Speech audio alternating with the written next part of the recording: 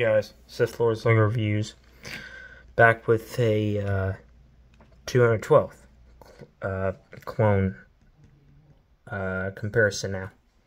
So today we'll be looking at the three comparisons from the 2013 212 to the 2022 212.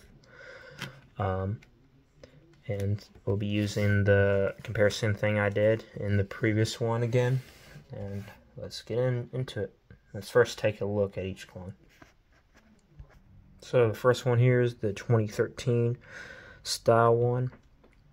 Um, just came out with the like printing and stuff, and then uh, had the 20 uh, had the Clone Wars style look to it, back printing and everything, clone head. Um, the only problem with this one back in the day was it was yellow, not orange. But to be fair, if you watch the Umbara arc, they did look yellow in that arc. But the correct color for the 212 is orange. So let's move on to the 2014 clone, my personal favorite one. So this one is when the 212 got a lot better. And the printing even added some battle damage, which was really nice to have. Still no toe printing, of course, but um, came with the correct colors this time, orange. And it was a realistic style with the realistic head. Back printing and everything. So, this one is my personal favorite, but yeah, so that's that one. And we'll take a quick look at the 2022 version. So then after eight years, they finally came out with another 212 boy, did they go bad on the head printing. Oh well. On the helmet printing. But yeah, they updated the face, more of the correct color, nougat color. They also updated the helmet. The fin is bad and bowed out, and helmet holes. But other than that, they kept the battle damage, which I really do like. Then they added a little bit of hip printing right there. Also added toe printing, and they fully filled out the knee pads. Then you have back printing. But yeah, so that's the uh, 2022. So now we'll look at the comparison of them. Alright, so starting off the quality again. So not including the helmets, but just going from torsos and legs and arms. Not really including arms, so really just torsos and legs. I would say that the printing wise, because this is very cool looking, but this is better looking, and I think personally, even the design's better on this one. I think personally the printing just looks the best on the 2014. I think the 2014 takes this one on the printing. Legs and well the legs eh, they could win on the 2013 but I just like how the orange is more shown out and then smaller over here. So I think, and then this one is just yellow, so that's all wrong. Plus the print's small on it. So yeah, I think the 2014 is going to get the three points. Now, which one's going to get the next best? I think these two are basically the same on print-wise.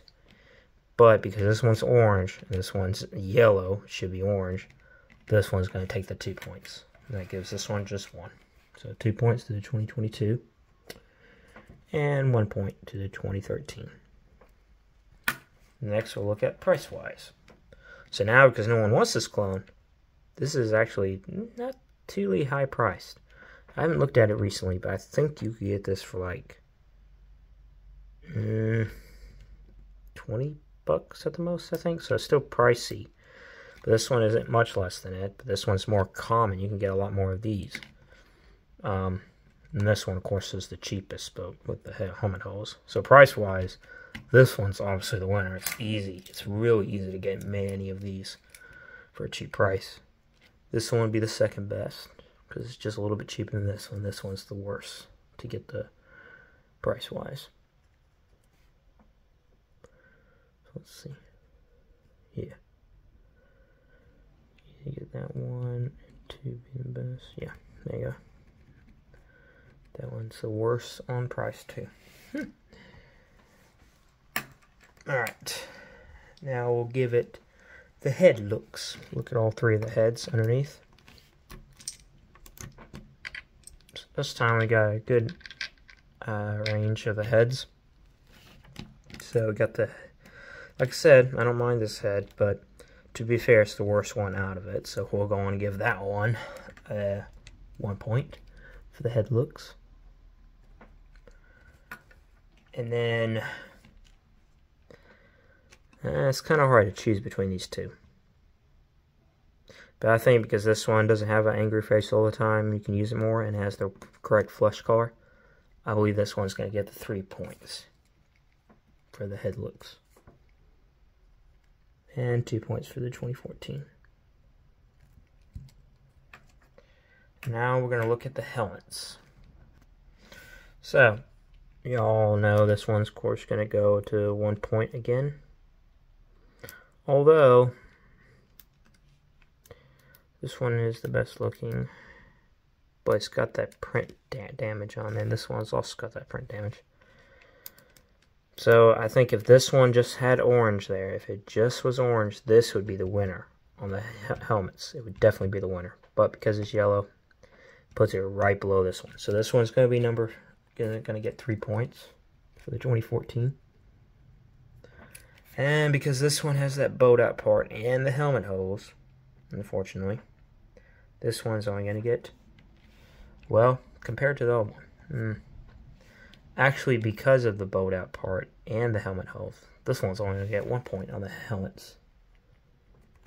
And this one, even though it's yellow, but it's got a way better print and everything, just because it's yellow, it, it goes less below this one, but if it was orange, it would go above the 2014.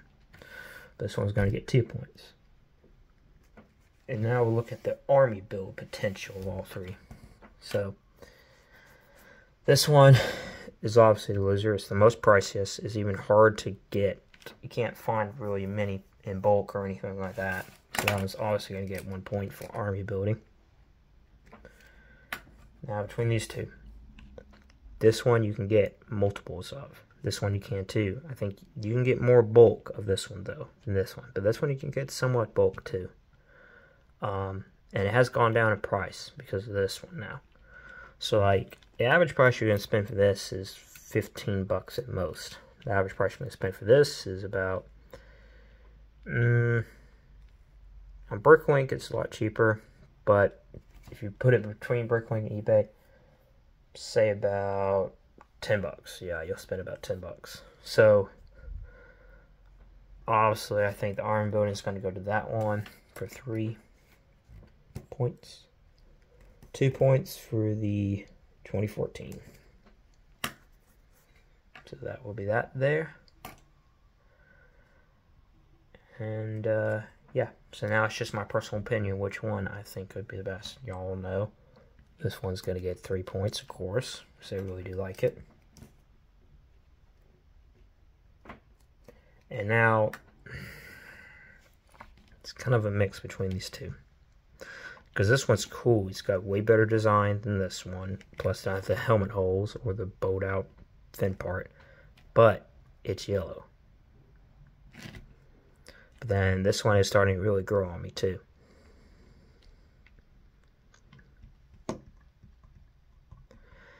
I'm sorry, even though this one has got better army building potential and everything, just because this one's better print and everything, I'm going to have to give the two points to the 2013 and one point to the 2022. So let me tally these up and we'll see who the winner is. It was a close one, but this one's the winner at a total of 15 points right there. So that one's the winner and by far I think is the best clone. This one I would really get. This one's my favorite, and I think it's the best. So then next in place was the 2022 at 13 points. Um, even though it's got a really design and everything, great design, it's definitely cheaper, and you can get it easier than compared to the 2014. 2014 is still the best in my opinion.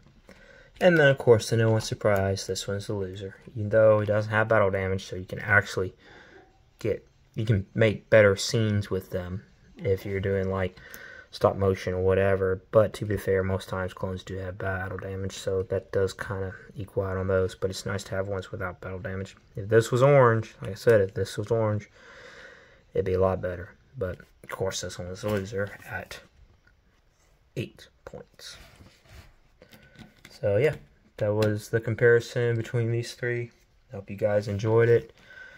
Please like, comment, subscribe, and share on this video. And uh, I'll see you guys in the next comparison or clone haul.